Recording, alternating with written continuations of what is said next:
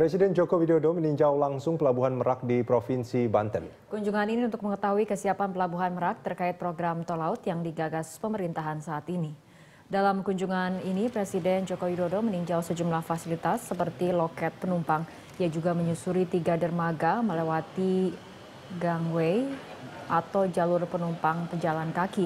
Presiden juga melihat secara langsung ruangan yang berfungsi untuk mengendalikan dan koordinasi jalannya pelayaran. Menurut Presiden, Pelabuhan Merak dan Bakauni harus memiliki manajemen yang baik karena kedua pelabuhan merupakan gerbang Jawa dan Sumatera.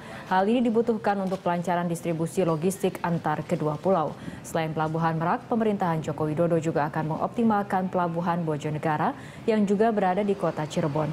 Dari Pelabuhan Merak, Presiden Joko Widodo menggunakan kapal Roro Port Link 3 untuk menyeberang ke Pelabuhan Bakauni, Lampung.